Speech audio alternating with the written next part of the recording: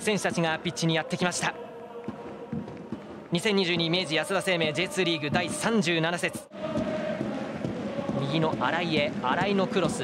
ニアサイドでリフレクション西矢シュートを狙っていきました。クロスバー当たって。徳島は一つ決定機を迎えていましたが。まあ、クロスに対して少しクリアがね西田選手のところに行ったところで、まあ、これも若干ループ気味に。児玉一人で行く一味に預けていやよく見た。一味から逆サイド新井新井をシュートこぼれているディフレクションは。ゴールキーパー西郷小畑がキャッチングです。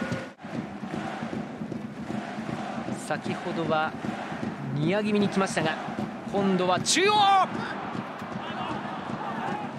惜しくもバーの上越えていきました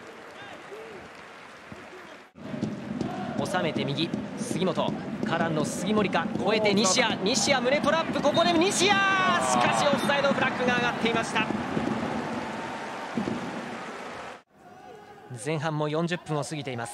ここまでは0対0両チームとも多く決定機を作っていますが。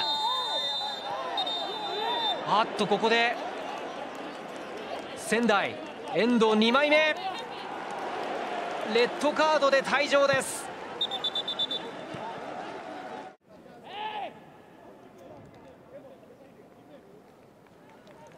そうですね、まあ、遠藤選手、左手がね田向選手の顔のところに、まあ、当たってしまったっていうところですよね。まあそうですね、まあ、田向選手を見ていた分、その左手。ハーフスペースでパスを送る、もらい直す児玉、新井です、新井のクロス、ファーサイド、西谷、うん、こぼれている、そのままゴールに押し込みました。先制は徳島です。後半の立ち上がり。最後押し込んだ一味。右サイドからのクロスに対して西田選手が折り返して、まあ、中野選手が決めに行くと、まあ、仙台の方がね最初のファーストボールの競り合いに対して少しかぶってしまったっていうところとまたこの中のボールも2人触ってますけどまあ、若干意思疎通ができなかったというところで、まあ、徳島右に左にボールをずらしながら松下に戻して中山に入る。収めた中山。背負って中山は左へ。キム・テヒョンのクロスファーサイドヘッド。ポストだ。ゴール決まった。1人少ない中でマセのヘッドが決まって同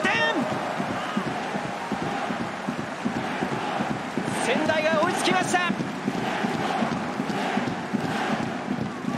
希望をつなぐ1本縦パスからこのキム選手のクロスまで来ましたね、まあ、中の人数も揃ってましたしウィングバックの松選手が中に入ってきてゴール前に絡むと、まあ、これ初塚選手もここまでいますからしっかり前線に顔を出していく人数というところで1人いないところを感じさせない、まあ、そんなプレーになりましたし、まあ、松選手のヘディングもよく決めきったなと、まあ、執念を非常に感じるゴールでしたね。